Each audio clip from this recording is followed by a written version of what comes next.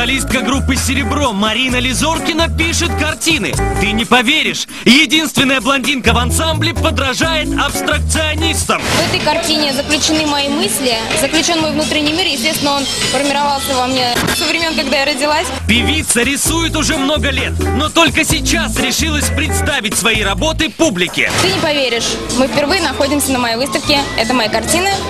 Наслаждайтесь. Насладиться творениями юной художницы пришли ее друзья и коллеги по цеху. Я знала, что это будет что-то интересное, но не думала, что это будет так странно.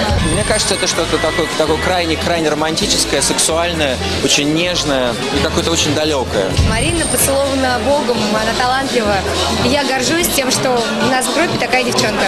Ты не поверишь, Марина успевает еще и писать стихи. Стихи я посвящаю мужчинам, любимым и любимым женщинам.